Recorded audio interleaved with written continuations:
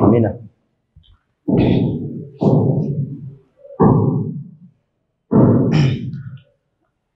Ah, Katika somo letu la jana tulikuwa tumeanza kuangalia mifano ama parables katika lugha ya Kimombo. Kwa hivyo tuliweza niliweza ku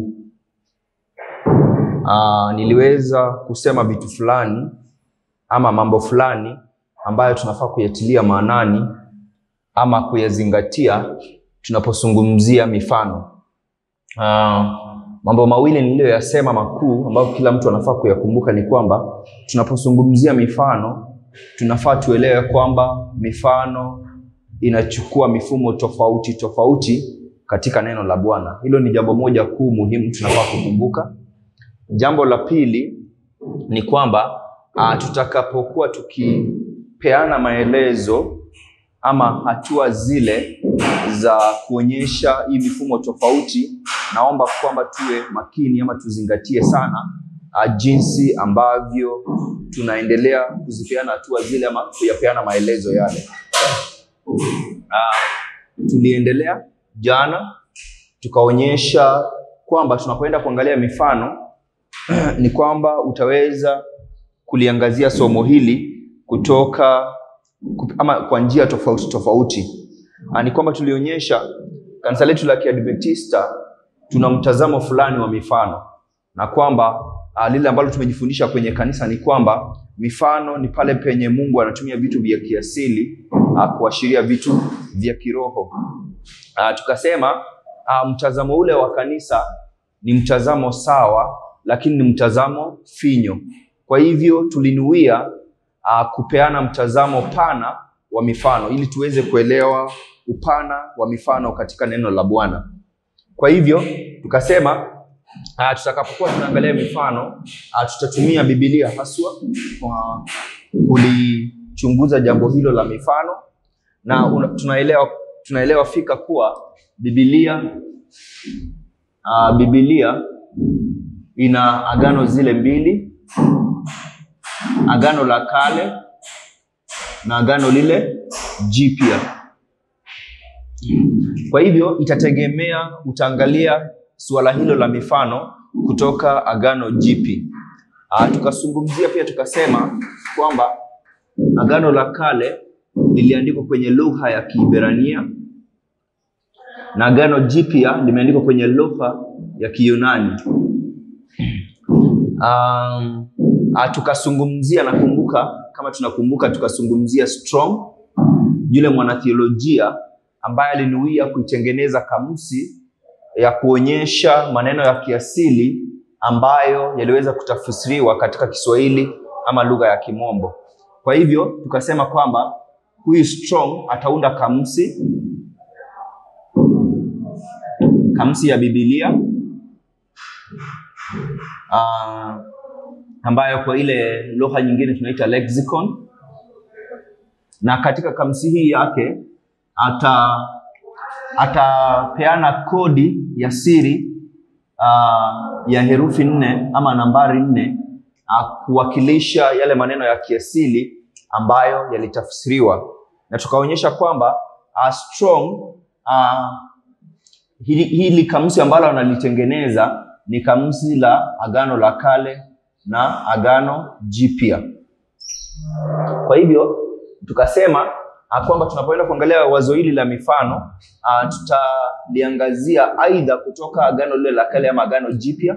Tukasema tutatumia Agano Jipya na tukasema unapokwenda katika Agano Jipya tutaangalia kitabu cha Mathayo ah, kumi na tatu fungu la tatu, lakini tukasema hatuendi kuangazia uh, mifano kutoka lugha ya Kimombo ama lugha ya Kiswahili, bali tunajaribu kuangalia neno lile mifano, neno lile mifano kutoka lugha ya kiasili. Tunajua kwamba Mathayo inapatikana katika Agano Jipya na Agano Jipya limeandikwa katika lugha ya Kiyunani. Kwa hivyo tutaweza kuangalia mifano uh, kutoka ile lugha ya kiasili ambayo ni lugha ya Kiyunani na tuweze kuelewa mifano inamaanisha nini na tulipo uh, sasa tuka, tulipokuja angalia lile neno mifano tukarudi kwenye ile kamusi ya strong uh, lakini tuliona pia si strong tu, bali strong alifanya kazi, mzu, kazi nzuri ambayo wanatheolojia wengine waliokuja baadaye waliweza kufuata mtindo ule aliyouweka kuhusu ama kuhusu kutengeneza ile kamusi ya Biblia.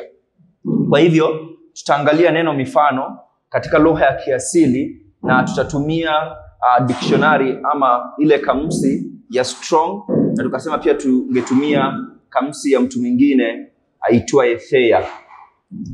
Na tulipoangazia hilo hilo jambo tuliona kwamba uh, lile jina mifano linatokana na jina la kiasili ama jina la Kiyunani ga thelathini na nane hamsini ambayo tulionyesha kwamba ga thelathini na nane hamsini inamaanisha kuchukua kitu kimoja na kukiweka kando ya kitu kingine. Mfano tuliopewa ni melikebu mbili iliyo kwenye vita, melikebu mbili iliyo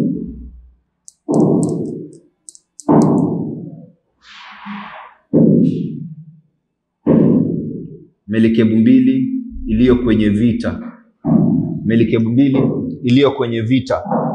Aa, kwa hivyo tukaonyesha kwamba kuna melikebu mbili iliyo kwenye vita aa, na tukiangalia kwamba aa, jina mifano lina hii dhana ya kuchukua kitu kimoja na kukiweka kitu kando ya kitu kingine, na mfano tuliopewa ni melikebu mbili kwenye vita. Tuliona kwamba melikebu hii mbili aa, melikebu hiyo ni melikebu inayokinzana katika lugha ya Kimombo tunasema imo katika tension, inakinzana. Alafu melikebu hiyo mbili ndipo iweze kuja uh, milki moja kando ya nyingine, lazima iweze kuzurutishwa ama kulazimishwa. Kwa hivyo tukaona kuna ile dhana ya kuzurutishwa. Kwa hivyo tukaona unapoangalia neno hili ga thelathini na nane hamsini ambalo uh, lina maana ya kuchukua kitu kimoja na kukileta kando ya kingine, mfano ni milki mbili iliyo kwenye vita tukaona kuna hiyo dhana ya kukinzana na dhana ya kulazimishwa.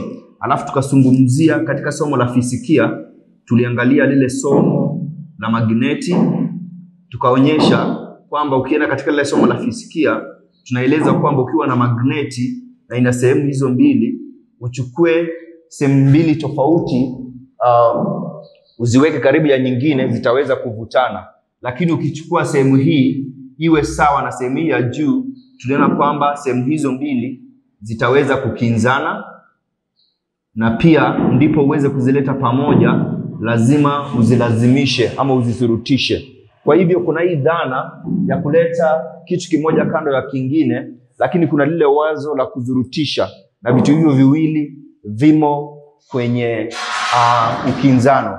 Tukaona kwamba neno hili linatokana na neno lingine la Kiebrania ambayo ni ga,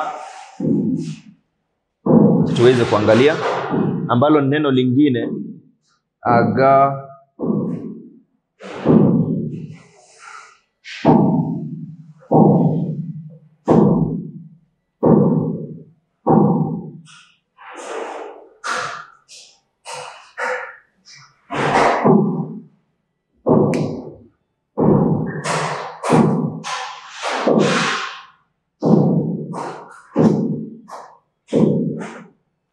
Uh, linatokana na neno lingine ambalo ni Gal thelathini na nane arobaini na sita. Uh, kwanza kabla nilizungumzia tuliambiwa uh, uh, sababu ya kuleta vitu hivi viwili pamoja ni ile sababu tuliambiwa inaitwa katika lugha ya Kimombo juxtaposition, ama kwa lile jina lingine kutofautisha. Ni kwa sababu ya kutofautisha juxtaposition ama kutofautisha. Kwa hivyo nachukua kitu kimoja na kukileta kando ya kitu kingine aa, na vitu hivyo viwili vinakinzana na utavilazimisha viweze kuwa pamoja, na sababu ya kufanya hivyo ni kuweza kuvitofautisha vitu vile. Tukaona hii ina uh, ile maana ya kuchukua kitu na kukirusha mbele ya kitu kingine. Uh, tulipewa mfano, una farasi na una chumba kile ambapo umeweka chakula ya farasi, alafu unachukua chakula ile unairusha mbele ya farasi, unairusha mbele ya farasi. Kwa hivyo tunaona kuchukua kitu kingine na kukirusha mbele ya kitu kingine, kuna chakula na kuna farasi. Na tuliona sababu ya kufanya hivyo, tuliambiwa ni sababu ya kufananisha, ni sababu ya kufananisha. Ah, tukaona kwamba neno hili linatokana na maneno mengine mawili ya Kiyunani ambalo ni moja ni ga uh, uh, mia tisa na sita na ingine ni ga uh, mia uh, thelathini na nane arobaini na nne. Na tukaona kwamba neno hili lina maana ga mia tisa uh, ya kutupa. Lina maana ya kutupa ama kuachilia kitu kianguke bila kujali mahali ambapo kitaweza kuanguka, ama ile dhana ukiwa kwenye shamba na unataka kufanya kazi ya upanzi, kuchukua mbegu na kuzirusha ovyo ovyo. Kwa hivyo ina hiyo maana ya kurusha. Alafu tuliona kwamba hii ina maana ya kando. Kwa hivyo ukichukua maneno hayo mawili uweze kuyaleta pamoja, utaona kwamba utaona neno la kutupa karibu kutupa karibu. Kwa hivyo tukiangalia neno hili mifano kutoka lugha ya Kiyunani, utaona linatokana na neno lile la Kiyunani li, ambalo lina zile kodi za kisiri ama herufi za kisiri ga themanini na nane hamsini ambayo ina maana ya kuchukua kitu kingine, kitu kimoja na kukiweka kando ya kitu kingine. Tukapewa mfano wa melikebu mbili iliyo kwenye vita, na tunajua kwamba tutakapoangalia melikebu hizi mbili zilizo kwenye vita kuna maneno mengi tunaweza kujifundisha. Mojawapo ni kwamba melikebu hizo mbili zinakinzana na melikebu hizo mbili uh, lazima uzilasimishe ili ziweze kuja pamoja. Tukatumia ile wazo la magneti kuweza kuelezea jambo hilo hata, hata zaidi. Neno hili linatokana na neno lingine la Kiyunani ambalo ni ga themanini na arobaini na sita ambayo ina maana ya kuchukua kitu na kukirusha mbele ya kitu kingine. Kwa mfano, kuchukua chakula chakula pole na kumrushia farasi. Kwa hivyo Uh, tukaona kwamba sababu ya kufanya hivyo ni sababu ya kufananisha na sababu ya kuleta kitu kimoja kando ya kingine ni sababu ya kutofautisha. Uh, neno hili linatokana na neno lingine la maneno mengine mawili ya Kiyunani ga mia tisa na sita na, sita, na ga thelathini na nane arobaini na nne. Uh, ga mia tisa na sita inamaanisha kutupa na ga thelathini na nane arobaini na nne inamaanisha karibu au kando. Ukiunganisha maneno hayo mawili unakuwa na ile ya maana ya kutupa kando ya kutupa kando. Kwa hivyo hivi ndio tuliweza kuelezea. Kwa hivyo tukaonyesha kwamba uh, mifano uh, mifano inaweza kueleweka kuchukua ule mfumo uh, wa kufananisha na kutofautisha. Inachukua ile ule mfumo mfumo pole wa kufananisha na kutofautisha. Kwa hivyo mifano si maneno ya kiasili kutumika kuashiria maneno ya kiroho tu, bali Uh, mifano inaweza eleweka ikichukua mfumo huu wa kufananisha na kutofautisha. Alafu uh, tukaja uh, mfano ili kuweza kuonyesha jinsi ambavyo mfumo ule wa mifano uitwao kufananisha na kutofautisha unavyofanya kazi. Uh, tukachukua Danieli kumi na moja fungu la arobaini na moja. Tulipochukua Danieli kumi na moja fungu la arobaini na moja tuliona kwamba wow, ukichukua uh, lile nena lile neno pole lile neno tena uh, katika lugha ya Kiswahili ni tena, tunaona kwamba lile neno tena lina maana mbili. Lina maana maana ya kwanza ni uh, sawa, maana ya pili ni tofauti. Maana ya kwanza ni sawa na maana ya pili ni tofauti. Kwa hivyo tulionyesha kwamba uh, tukapeana mfano nikisema fagie nyumba hii kisha ufagie nyumba ile. Kwa hivyo utaona kwamba unafanya kitendo sawa, unafagia na unafagia pia, lakini inaweza kuwa na maana ya tofauti. Amlishe paka kisha ufagie nyumba. Kwa hivyo ah, pole, si kisha tena ufagie nyumba. Ah, mlishe paka tena ufagie nyumba. Kwa hivyo kuna ile kuna yale ma, kuna vile vitendo viwili tofauti, kumlisha paka na kufagia. Kumradhi, tumekuwa na hitilafu ya mitambo, tutaweza kuendelea. Kwa hivyo tulipokwisha kueleza maana hii ya jina methali ama mifano, pole, mfano, tulikuja hapa tukapeana mfano Danieli kumi na moja fungu la arobaini na moja tukachukua jina lile tena tukaonyesha kwamba jina lile tena linaweza kuwa na maana mbili, maana ya sawa na maana ya tofauti. Uh, kwa hivyo tuliona kwamba maana sawa ni pale mtu anatenda kitendo sawa. Kwa mfano tukasema fagie nyumba hii tena ufagie nyumba ile, ama pale mtu anafanya vitendo viwili tofauti, uh, mlishe paka tena ufagie nyumba. Kwa hivyo tunaona vitendo viwili tofauti. Uh, katika muktadha wa mafungu haya mafungu hili uh, yule ambaye anafanya shughuli ama jambo pale ni mfalme wa kazi kazini, na tunaona kwamba katika fungu la arobaini kwa hivyo tukawa na mafungu haya mawili. Katika fungu la arobaini mfalme wa kazi kazini anaweza kuingia katika nchi hizo na anafurika na kupita katikati, anafurika na kupita katikati. Aa, na katika pia fungu la arobaini na moja tukaona pia mfalme wa kazikazini anaingia katika nchi ya uzuri na wengi wanaweza kupinduliwa na wengi wanaweza kupinduliwa.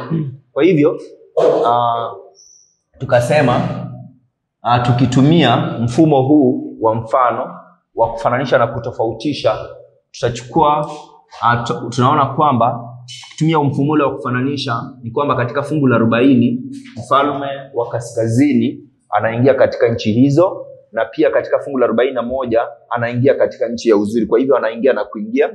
Uh, anapoingia katika nchi hizo anafurika na kupita katikati, na anapoingia katika nchi ya uzuri wengi wanaweza kupinduliwa. Uh, kwa hivyo tukasema tutachukua ujumbe huu kutoka fungu la arobaini na moja tuulete pale, tuonyeshe pia uh, kwamba anapoingia katika nchi hizo na kufurika na kupita katikati kuna kupinduliwa, na pia anapoingia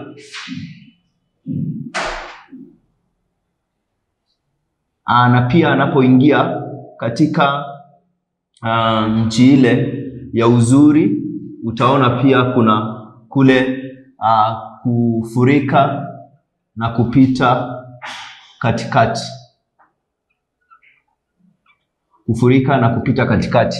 Kwa hivyo tukaona kwamba unachukua ujumbe kutoka fungu la arobaini na unauleta katika fungu la arobaini na moja na pia tunachukua ujumbe kutoka fungu la arobaini na moja na tunachukua katika fungu la arobaini. Um, alafu uh, tukaona pia katika fungu la arobaini katika fungu la arobaini na moja kumradhi, pia kuna kufananisha na kutofautisha. Tukaona kuna wale wanaopinduliwa, kwa hivyo kuna hawa watu wawili wale ambao wanaitwa wengi na Edom, Moab na Amoni. Hawa tunaambiwa wanapinduliwa, na hawa tukaambiwa wanaweza kukwepa ama kuponyoka. Tuka, tukasema kwa hivyo tunataka tupeane maelezo aa, ya maana ya maneno haya mawili. Je, maneno haya yanamaanisha nini? Tukasema tutaangalia neno lile ambalo aa, ni rahisi kupeana maelezo yake. Tukishapeana maelezo yake uh, tutatumia maelezo hayo kueleza neno jingine.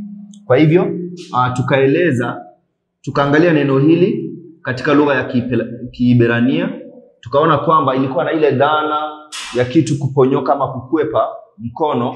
Kwa mfano sabuni iliyo nyevunyevu, uh, sabuni iliyo na unyevu inapoponyoka mkono wako uh, ina ile maana, ile jina escape, neno la Kimombo. Kwa hivyo tukaonyesha kupitia picha ni kwamba una mtu huyu na mtu huyu ni mateka, na mtu huyo ni mateka, lakini mtu yule anakwepa matekani na anakuwa mtu huru, anakwepa matekani na anakuwa mtu huru. Kwa hivyo tukaonyesha hapa mtu huyu mtu huyu alikuwa mateka, lakini hapa mtu huyu anakuwa huru. Kwa hivyo tukitumia uh, mfumo huu wa kufananisha na kutofautisha, tutaonyesha kwamba wale ambao wanapinduliwa uh, ni mtu ambaye alikuwa huru, lakini mtu huyu anaondoka kutoka ile hali ya kuwa huru na anaenda kwenye mateka, anaenda matekani. Mtu alikuwa huru na anaenda anakuwa mateka. Kwa hivyo tulishaelezea kwamba akukwepa ni ile hali ya kuwa mateka, lakini unaenda unakuwa huru, unaponyoka unakuwa huru, na kupinduliwa ni ile hali ya uh, kuwa huru, lakini unachukuliwa unakuwa mateka. Uh, tukaangalia pia uh, kwamba katika Ufunuo kumi na nane fungu la nne uh, Idomu, Moabu na Amoni wanaitwa watu wa Mungu, wanaitwa watu wa Mungu. Kwa hivyo kwa njia ya kufananisha na kutofautisha, au pia ambao wanakuwa huru alafu wanaenda mateka uh, lazima wawe ni watu wa Mungu. Wale ambao wanakuwa huru alafu wanapelekwa mateka lazima wawe watu huru. Kwa hivyo tulifananisha na kutofautisha pale, tukasema pia ukiangalia katika fungu la arobaini na moja fungu la arobaini na moja na pia uh, tufananishe na lile fungu la arobaini na mbili ni kwamba katika fungu la arobaini na moja kuna lile jina wakuu wa Amoni ambalo tulisema linamaanisha katika lugha ya Kimombo first fruit. Ni kwamba yale matunda ya kwanza, wakuu wa Amoni, matunda ya kwanza. Na kama una matunda ya kwanza, basi una uh, yale mavuno. kuonyesha kwamba katika fungu la arobaini na mbili unakuwa na mavuno uh, kwa hivyo hapa tuna uh, mazao ya kwanza na hapa tuna mavuno. Na mwisho, jambo la mwisho tuliangalia ni kwamba tuliona unaweza pia uh, kufananisha fungu la arobaini alafu fungu la arobaini na moja likawa kioo chetu, alafu kuna fungu la arobaini na mbili. Uh, kwa hivyo tukaona kwamba hapa kuna a, Misri ambaye ni mfalme wa kusini na kuna nchi hizo, alafu kuna nchi hizo alafu kuna misiri Kwa hivyo tukaonyesha kuna ile mbinu ambayo tunaita uh, kioo cha unabii katika lugha ya Kimombo charism ama prophetic mirror. Uh, na si kunuia kusema kwamba uh, Misri ya fungu la arobaini ni sawa na Misri na, ni sawa na Misri ya fungu la arobaini na mbili wala mataifa ya fungu la arobaini ni sawa na mataifa ya fungu la arobaini na mbili. Uh, tukaonyesha kwamba ikiwa utasema Misri, Misri ya fungu la arobaini ni sawa na mataifa na nchi hizo na pia nchi hizo za arobaini na mbili lazima ziwe sawa na nini na Misri na Misri. Na tulitumia nini? Tulitumia mbinu hii ya kusema uh, uh, ile mbinu ya kioo cha unabii ni sawa na ile boli, boriti ya mizani, na kama unaapa mis, Misri hapa Misri na hapa una mataifa na hapa una mataifa na hapa una Misri uh, na hapa una Misri. Ni kwamba uh, ikiwa utafanya jambo moja hapa, lazima ufanye pale, ndipo mizani ile iweze kuwa uh, katika ile uh, ile hali ya usawa. Ile mizani ndipo iweze kuwa hali ya usawa. Ukifanya jambo moja katika upande mmoja, lazima ufanye jambo hilo hilo katika upande ule mwingine. Kwa hivyo natumai tuliweza kuona mifano hii mitatu, jinsi ambavyo tulitumia mfumo wa kufananisha na kutofautisha ambao ni mfumo wa mifano. Tukapeana mfano wa kwanza, tulitumia fungu la arobaini na moja tukapeana mfano wa kwanza, mfano wa pili na mfano wa pili na mfano wa tatu alafu pale tukaongelelea kile kioo cha unabii. Kwa hivyo utaona kwamba tulichukua ujumbe kutoka fungu la arobaini na moja tukauleta katika fungu la arobaini na pia tukachukua ujumbe kutoka fungu la arobaini tukaleta katika fungu la arobaini na moja Utaona kwamba hapa tulitumia maelezo ya lile jina kuponyoka ama kukwepa na kuweza kuelezea maana ya lile jina la kupinduliwa, alafu Uh, tumechukua pia ujumbe fulani ambao tunajua kuhusu Idomu, Moabu na Amoni ambao kwamba ni watu wa Mungu. Pia tumeleta ujumbe ule, tumeleta pale. Tumeangalia pia kwamba katika fungu la arobaini na moja uh, mfalme wa Kazikazini anapoingia katika nchi ya uzuri, tunapata kutoka pale nchi ya uzuri uh, kuna wale ambao wanapinduliwa, lakini kuna wale ambao wanaokolewa ambao ni Edomu, Moabu na Amoni, na wana wa Amoni ambao ni uh, yale matunda ya kwanza. Na kama una matunda ya kwanza, pia kwa njia ya kufananisha na kutofautisha, unajua kwamba tofauti ya matunda ya kwanza ni yale mavuno makuu. Kwa hivyo tukisha yaangalia hayo, nataka tuweze kuziandika hatua fulani ama uh, vitu fulani tunavyopasa kuviangalia tunapotamani kujua kwamba katika fungu hili tutaweza kutumia mbinu ile ya kufananisha na kutofautisha. Kwa hivyo tukizungumzia hiyo mbinu ya kufananisha na kutofautisha, nataka tu uh, yajue maneno ya mambo yafuatayo.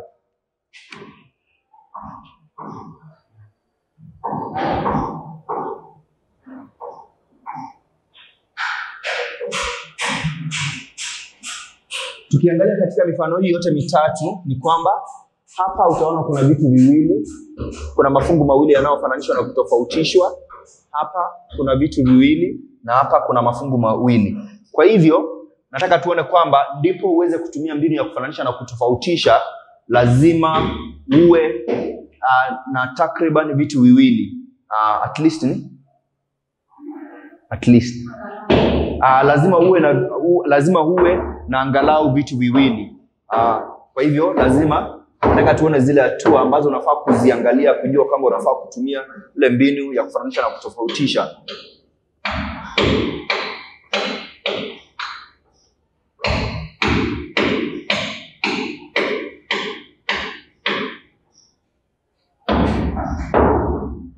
Lazima uwe na angalau vitu viwili.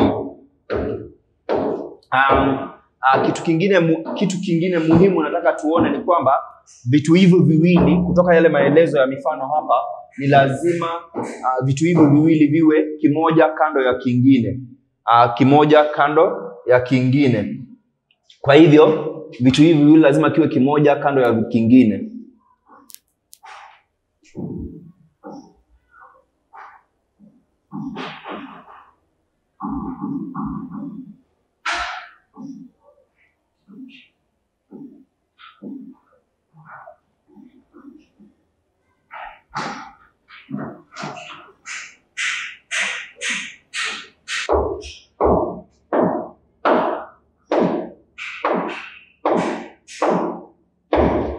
hivyo vitu hivyo viwili uh, lazima lazima viwe kimoja kando ya kingine. Uh, kwa hivyo hatua uh, ya tatu hatua ya tatu tutaweza kuiona kutoka ile mifano, utaona kwamba uh, ujumbe huu uh, waku wa kupinduliwa haukuwa katika fungu la arobaini, lakini tuliuleta pale kwa njia ya kufananisha na kutofautisha. Alafu katika fungu la arobaini na moja hatuna ujumbe ule wa kufurika na kupita katikati, lakini tuleta kutoka fungu la arobaini. Kwa hivyo utaona kwamba unatumia ujumbe wa kitu kimoja kuweza kuelewa kitu kingine ambacho aidha umepewa ujumbe mchache ama hujapewa ujumbe kabisa. Kwa mfano utaona kwamba hivyo ndivyo tulifanya. Ujumbe huu ni ujumbe tunajua kuhusu Edomu na Moabu, lakini kwa ajili ya kufananisha tumeuleta pia pale, na pia kama tukijua kwamba haya ni matunda ya kwanza, tunajua kwamba haya ni mavuno makuu. Kwa hivyo hatua ya tatu ni kwamba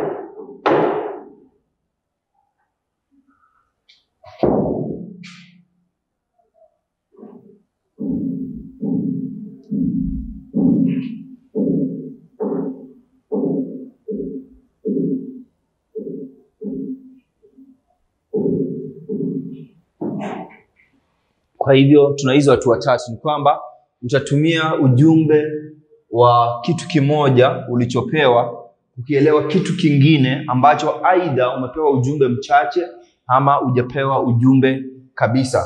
Kwa hivyo utaona kwamba mbinu ile ya kufananisha na kutofautisha ni, mi, ni mbinu ambapo unatumia kitu kimoja uh, kukielewa kitu kingine. Kwa hivyo a, pia tutaweza kuweka ujumbe huo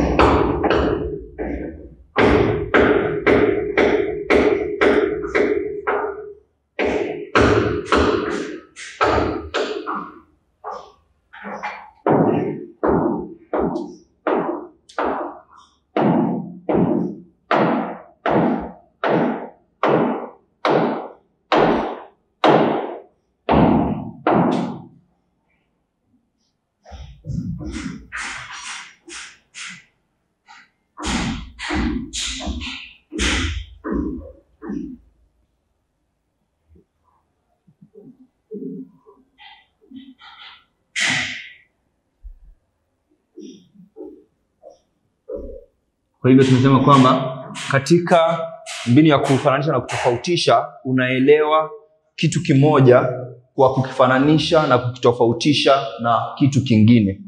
Ah, Kwa hivyo natumai kwamba tumeweza kuzungumzia ule mfumo wa mifano uitwao kufananisha na kutofautisha kwa njia ya upana.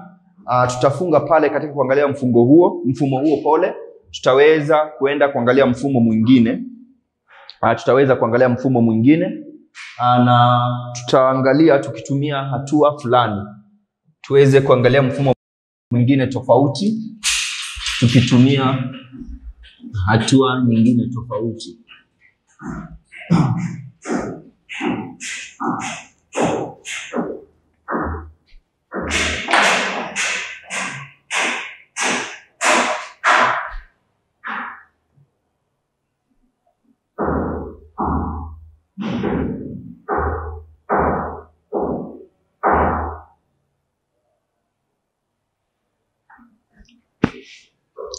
Tutatumia hatua ama mbinu ama methodolojia ya kutajwa kwa mara ya kwanza, kutajwa kwa mara ya kwanza.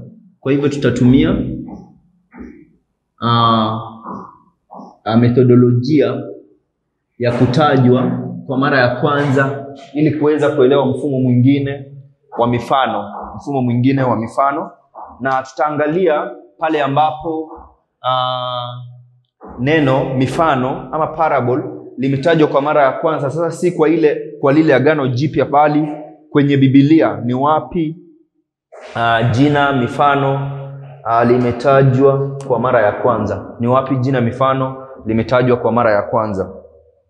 Uh, kwa hivyo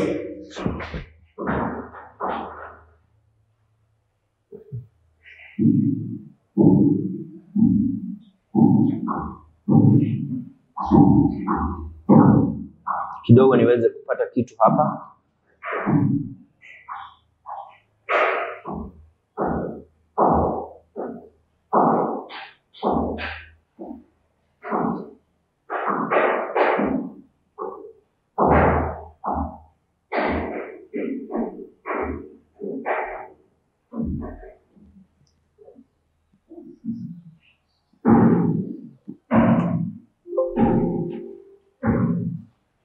Ah, Kwa hivyo uh, tukiangalia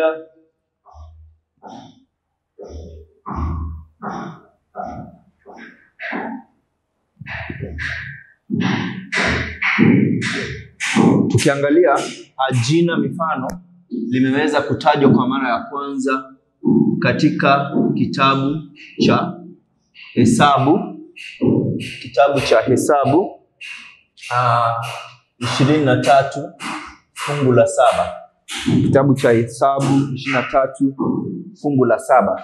Na kitabu cha Hesabu ishirini na tatu fungu la saba kinazungumzia ule unabii wa Balamu. Ah, kwa hivyo wacha tusome hicho kitabu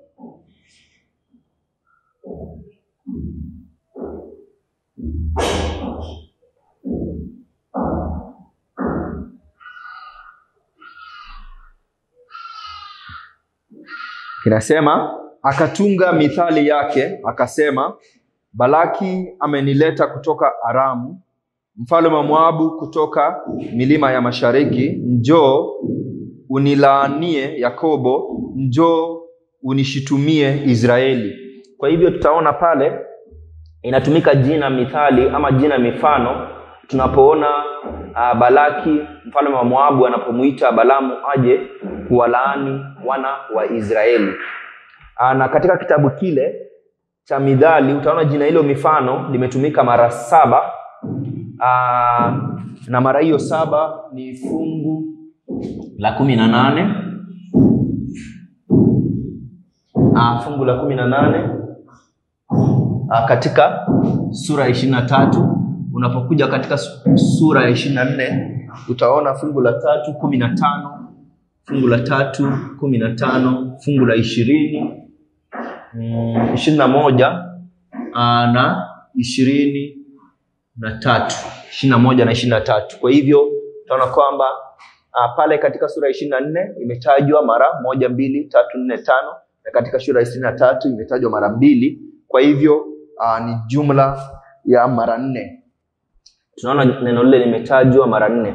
Na tunataka tuone neno hilo midhali limetumika kwa muktadha upi muktadha upi. Kwa hivyo uh, tutarudi uh, tutaweza tu kuangalia kile kitabu cha midhali ishirini na nne. Uh, midhali ishirini na nne. Ishirini na tatu pole. Alafu ukienda katika Midali ishirini na tatu utaona kwamba uh, pale uh, jina mithali limetumika mara nne. Uh, lakini uh, kuna nabii nne za Balamu. Katika lugha ya kimombo inaitwa oracles. Kuna nabii nne za Balamu. Uh, kwa hivyo ukienda pale ishirini na tatu uh, wacha tuone uh, unabii wa kwanza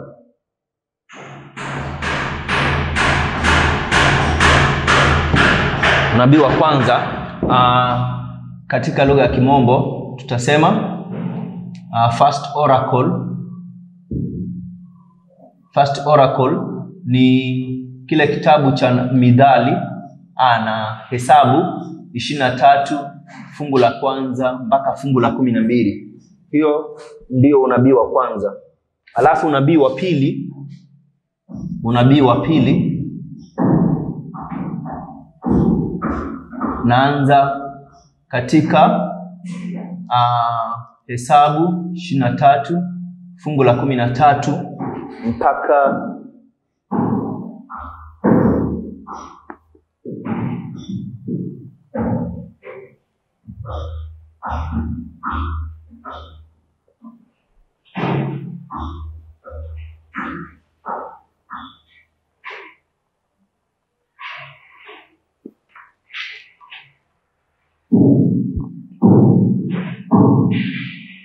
mpaka fungu la thelathini. Alafu kuna ule unabii ama orako ya tatu.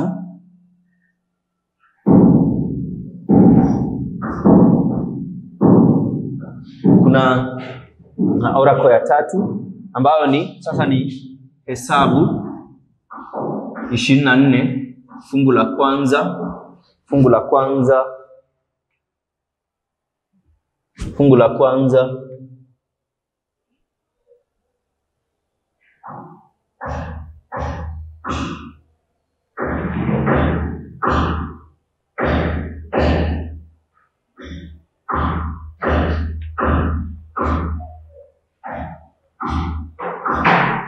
Fungu la kwanza mpaka fungu la kumi na nne.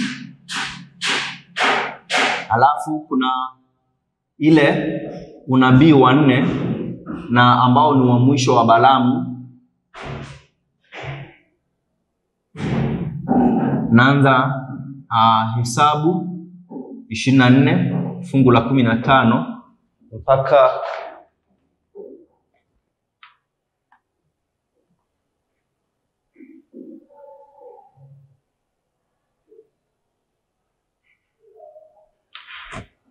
mpaka fungu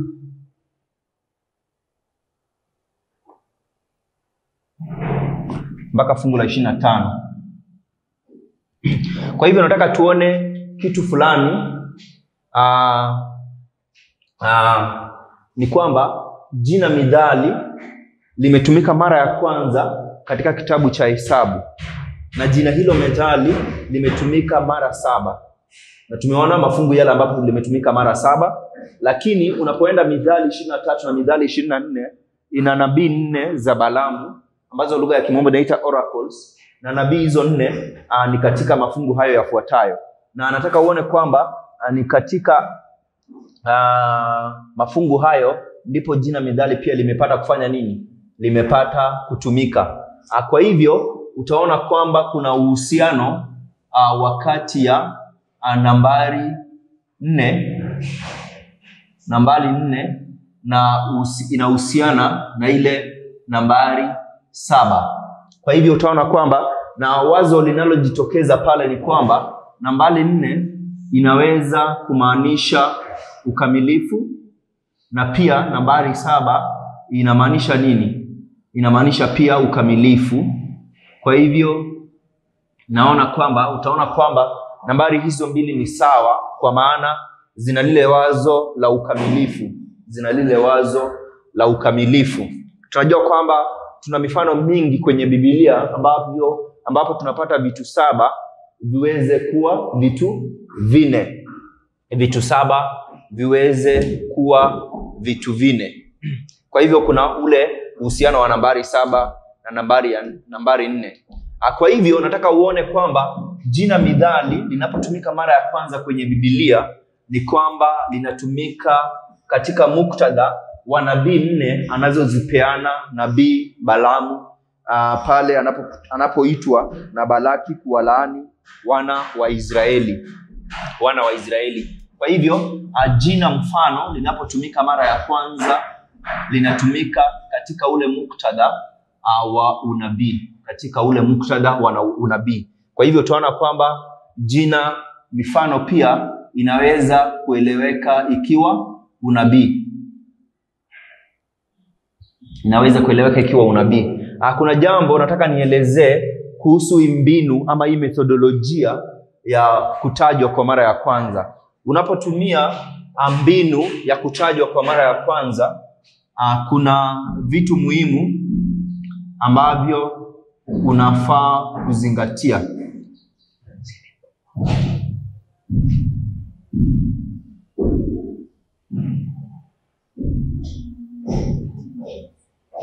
Uh, kuna vitu muhimu unafaa kuzingatia. Ni kwamba unapotumika uh, kule kutajwa, ile mbinu ama metodolojia ya kutajwa kwa mara ya kwanza, lazima uifanye katika lugha moja, usichanganye, usitumie Kiswahili, Kizungu na Kiyunani ama Kiibrania, ikitegemea ni agano lipi unalolisoma. Kwa hivyo uh, uh, uh, lazima hii mbinu ama metodolojia uh, itumike uh, katika lugha moja, katika lugha moja iweze kutumika ama kufanywa uh, katika lugha moja. Hicho ni kitu kimoja muhimu sana, tunafaa ukizingatia. Mbona unafaa kuifanya katika lugha moja? Mnajua, um, mnakumbuka jana tulipokuwa tunaanza uh, tulisema tunaenda kuangalia maana ya jina mifano, lakini hatuendi kufanya hivyo kutoka lugha ya Kimombo ama lugha ya Kiswahili bali tutafanya hivyo kutoka lugha ya Kiyunani.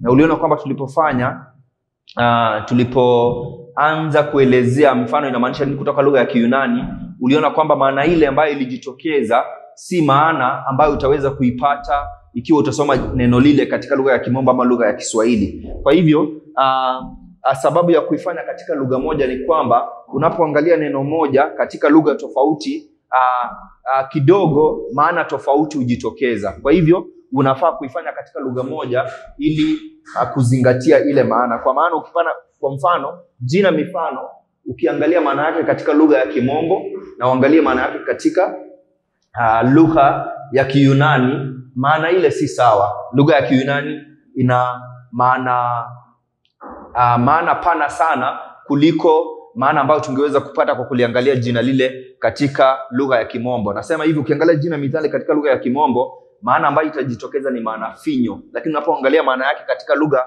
ya Kiyunani ni kwamba maana ambayo itajitokeza ni maana pana sana, ambayo inakusaidia uelewe kwa ufasaha maana ya jina mifano. Kwa hivyo itafanyika katika lugha moja. Aa, na maana ile utapata kutoka uh, ile methodolojia ya kutajwa mara ya kwanza. Maana hiyo uh, maana hiyo utaweza kuitumia kila mahali ambapo jina hilo litatumika baadaye kwenye Biblia, hata kama muktadha unaruhusu ama uruhusu. Uh,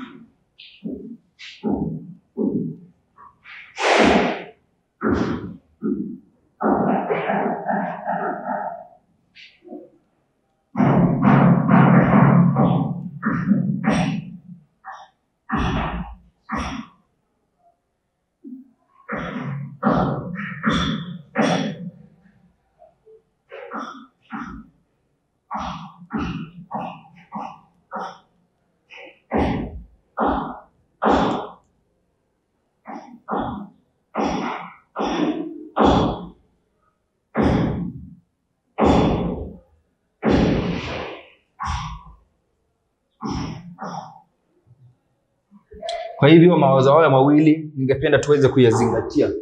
Mawazo hayo mawili ningependa tuweze kuyazingatia kwamba tunapotumia mbinu ile ya kutajwa kwa mara ya kwanza ifanyike katika lugha moja tu. Nimeweza kueleza sababu ya kuifanya katika lugha moja, na kwamba maana ile ambayo unapata kuhusu lile neno ama wazo lile unaloliangalia kutoka ile mbinu ama methodolojia ya kutajwa kwa mara ya kwanza iweze kutumika kila mahali ambapo neno lile linajitokeza kwenye maandiko matakatifu hata kama muktadha unaruhusu ama hauruhusu. Uh, kwa hivyo uh, naona kwamba tu, tulipotumia hii methodolojia ya kutajwa kwa mara ya kwanza tumeangalia jina mifano. Tumeona kwamba jina mifano linatumika katika muktadha wa nabii nne anapozipeana Balamu anapoitwa na Balaki kuwalaani wana wa Israeli. Kwa hivyo uh, mifano inaweza kueleweka ikija katika mfumo wa unabii. Kwa hivyo mifano ni unabii, inakuja katika mfumo wa unabii. Tumeonyesha kwamba mifano inaweza kueleweka ikiwa mfumo wa kufananisha na kutofautisha, lakini pia kutoka ile methodolojia ya kutajwa kwa mara ya kwanza tumeona kwamba mifano inaweza kueleweka ikiwa unabii, ikiwa unabii. Kwa hivyo tutazidi kujifundisha kuhusu mifano aa, katika darasa letu lijalo. Tuweze kuomba tumalize.